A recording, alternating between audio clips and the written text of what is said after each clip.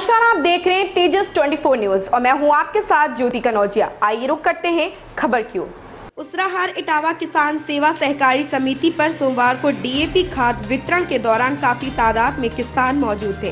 कई दिनों से खाली हाथ लौट रहे किसानों को उम्मीद थी कि आज खाद मिल जाएगी। काफ़ी तादाद में किसान करीब सुबह सात बजे से कतार में खड़े थे। वहाँ पर मौजूद किसानों का कहना था कि हम लोग काफ़ी समय से सहकारी समिति का चक्कर काट रहे। अभी तक हमको डीएपी खाद की एक भी बोरी प्राप्त नहीं हुई। हम सभी किसानों का भारी तादाद में खाद के चलते आलू, लहसुन के बीज का नुकसान हो रहा है। वहाँ पर मौजूद किसानों का कहना था कि सरकारें आज दिन हम लोगों पर अत्याचार करती आ रही है। सभी किसानों का कहना था कि ऐसी समस्याओं को हम लोगों को कब तक जूझना पड़ेगा। उसराहार से गौरव शाक्य की रिपोर्ट। सी न्यूज़ भारत में आप सबका स्वागत है। मैं कस्बा उसरार में इस वक्त मौजूद हूँ। यहाँ पर किसानों को लेकर के जो आज खादी के लिए मारामारी चल रही है, आज हम किसानों से जानते हैं कि यहाँ पर आपको खाद के लेकर के कब से इस मारामारी के बीच में आप इस मारामारी को झेल रहे हैं। आइए हम जानते हैं कि किसान की क्या क्या समस्याएँ यहाँ पर अभी देखने को मिल रही हैं। हम किसान से जानेंगे आपको खादी मिल रही है क्या? आपका नाम क्या है? कब से आप लाइन में लगे हुए हैं? लाइन में लगे लगे खाद नहीं मिल पा रही है। खाद आपको किस किस रेट पर दी जा रही है आपको? बारह सौ रुपये बोरी दी बारह सौ रुपये बोरी दी जा रही है। आप तीन दिन से आ रहे हैं और खाद नहीं मिल पा रही है। गवर्नमेंट तो कह रही है सर उत्तर प्रदेश सरकार कह रही है कि मैंने ऑलरेडी पहले से ही किसानों को खाद के लिए मैंने स्टॉक लगा रखा है फिर आप इतनी मुसीबत क्यों चल रहे हैं? ये तो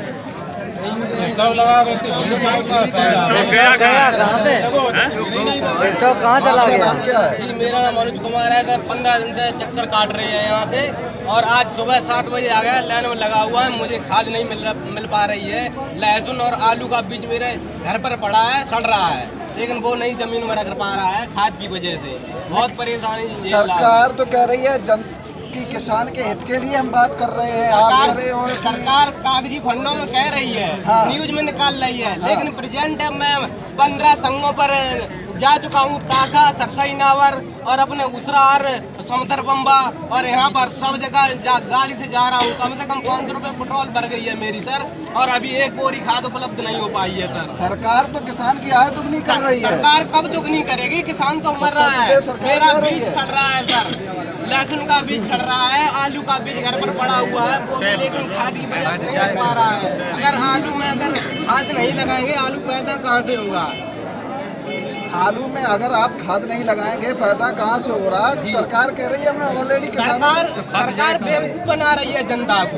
जनता को सरकार लूट रही है और कागज़ी कामों से पूरी कर रही है। सरकार न्यूज़ पर झूठे वादे कर रही है और कुछ नहीं मिल रहा है। किसान को कुछ नहीं मिल रहा है। पंद्रह दिन लगे हज़ारों आदमी यहाँ पर है। यहाँ सरसई यहाँ पर है और टाटा है सरैया है जितनी संघ है कहीं पर खाद भी नहीं मिल रही है। जब खाली दो तीन बोरी आ जाती है पता नहीं रात में उठवा देते हैं अपने अपने लोगों को दे देते समझ में नहीं आ रहा है कि जनता को खाद खाद क्यों नहीं मिल रही है? हर साल जबकि पूर्ति होती थी खाद दुकानों पर भी नहीं खाद मिल रही है सर। आप आप जैसे कह रहे हैं कि इस साल हमें सबसे ज़्यादा मारा मारी देखने सबसे को मिली सबसे है तो आप क्या मतलब है? आप कह रहे हो सरकार से आप कह रहे हैं कि नहीं सरकार ने बोल रही है कि किसानों के हित के लिए हम लड़ रहे हैं और आप कह रहे हैं आप ही लोगों ने सरकार को बनाया है। जी सरकार को बिल्कुल बनाया है सर। जी सरकार को इसीलिए बनाया है कि सरकार से मुझे लाभ मिले क्योंकि वादे किए थे बीजेपी सरकार ने किसान की आय दो मिलना ही रहो कुछ नहीं फ़ायदा। और हर फ़सल सस्ती बिक रही है और जो किसान ऐसी ही खबर से जुड़े रहने के लिए आप देखते रहें तेजस 24 न्यूज़।